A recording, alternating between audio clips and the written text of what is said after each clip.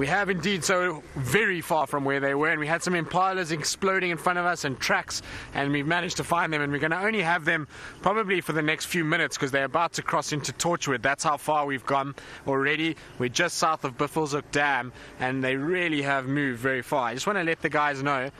Uh, also, if you look at it on these Madash, they're about to cross into Torchwood um, from Central. So it seems as though they're going to go static now for a little bit can see they are moving slowly eastwards. So I'm going to try and stay with them, but at least they've slowed down a little bit. Go ahead, Greg. Sure, they can move these guys. AFM Greg, they are moving straight east now um, on central going towards the boundary. They haven't crossed just yet, so if somebody can get to Cut Line quickly, we might still be able to, I can point you in the right direction. So I'm just trying to let the guys know because everybody's been trying to keep up with them, and well, as you can see, they just don't stop. And so carrying on trotting as they go. And I was hoping to find their tracks, and as soon as we saw those impalas running, we knew that they must be here somewhere. And so at least we've caught up with them a little bit. And isn't this the best way to spend a morning? It's I love when we have wild dogs because it just feels as though your adrenaline level goes through the roof as you race around trying to find them. And then when you do find them again, it is really quite special and you get feeling of accomplishment when you do find them because well it's difficult to find these three they're like needles in a haystack at times now, hopefully, they'll turn north up Cheetah Cut Line and they'll allow us to view them for a little bit longer because they definitely are hunting. They chased some impalas, but they missed, and it seems as though now they're just going to take it a little bit easy. I don't want to get too close to them because I want to get as much out of the sighting as we can, and so if we can keep them from trotting and rather than walk, then that will be better too.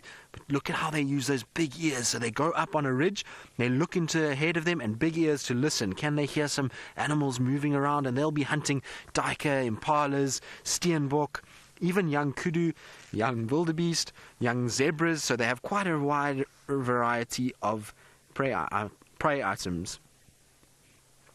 Now, B. Smithy, the three dogs are not going to be able to bring down as big an animal as a as the larger packs will. I have seen packs bringing down baby giraffe, baby wildebeest, um, even baby buffalo. Last year during the drought, the dogs were hunting buffalo, and I was talking to the guys in Timbavati, and they were telling me that they even watched a pack of dogs hunt a fully grown buffalo bull. So that gives you an idea of how big they can. But these three dogs, they'll be probably hunting mostly the biggest item I would say they would bring down would be probably an adult male impala, maybe if they're lucky, a female kudu. So that would be kind of rough sizing for them. And it looks like they're just going to stop a little bit for us. Look, scent marking. So it's the two males in front by the looks of it, and the female at the back, if I've got it right. I can't see 100% nicely. Actually, it looks like the female's in front and then the two males at the back now. But look at the male scent marking over where the female did. So that is right. There's the female right in front and then the two males at the back. And it doesn't look like she's pregnant. It doesn't look as though they've mated with her. Anna Marie, you're asking if the two males would in this pack would fight over the female. Well, there would have been some sort of competition over that female, but once they've established a little hierarchy, then they will be fine. At least there's not too much competition. You must understand, in some of the packs, the packs that are 20 dogs, there's sometimes 10 different males in that pack that are fighting over the female, and so you'll find that they establish their sort of hierarchy quite quickly, and the male will have already been established as to which one is the more dominant one. What is interesting is that this pack has been just these three for the last I would say a year and a half, maybe two years, and they still haven't bred yet. We still haven't seen any signs of her being pregnant. And so it's interesting just to kind of witness how this has been going on. They've obviously picked up a scent of something there because they're scent marking and sniffing around, which is fantastic news for us. I'm really quite happy that they've done that because it slowed them right down. So that's really good news. There we go, back onto the road. Look, noses down, smelling what's going on listening, and they are beautiful. I know a lot of people don't like them. I find them to be very pretty. I think they got all different markings, and I really love spending time around the dogs. I just want to let the guys know as well where I am. Um, still haven't approached the boundary just yet. We slowly mobile towards the cut line. We're between the cut line and Drakensberg at the moment.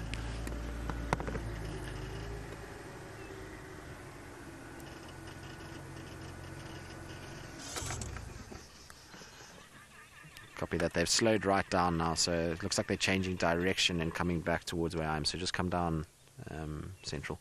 Ali, I don't think they smell a carcass. I think it's more that they probably these three dogs have scent marked here before, and now they're just marking again. Or there are other dogs that have marked here before, but we know that there hasn't been any other dogs seen in this area for a long time, and so it must be where they've marked. I know that they were on this road about two weeks ago, and so they're probably picking up their own scent marking, and they just re marking their territory and just making sure that there's not any other dogs that have come in while they've been moving around. Now, what is quite nice is you can see with the males, you see they get a little fluffy neck area, and you'll find that that is quite interesting with the males. They tend to get a bulkier neck and almost like a little dewlap that forms, as opposed to the females that get a much cleaner neck area. They don't have that fluff that tends to come out around the chin area.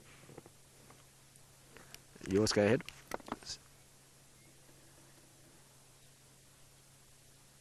But they seem to be sniffing. Affirmative, that's the one. So they're just asking me about where we are.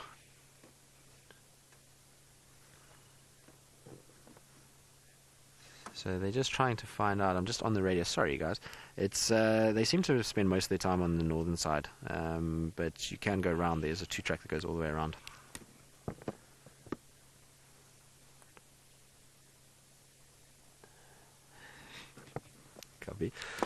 Now you can see they've just defecated on the road, and this is typical of wild dogs. When they're marking, you see they all go to the toilet together. Now the other one in front, on the front left, has also gone to the toilet.